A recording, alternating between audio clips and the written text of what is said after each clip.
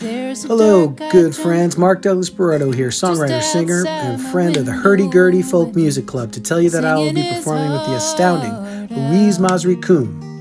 Hey y'all, this is Louise Mosrie Coon, singer songwriter. I'll be playing a show with my friend and pal Marc Douglas Berardo at the Hurdy Gurdy Folk Club on Saturday, February 4th in Fair Lawn, New Jersey. Tickets and info are available at www.hurdygurdyfolk.org.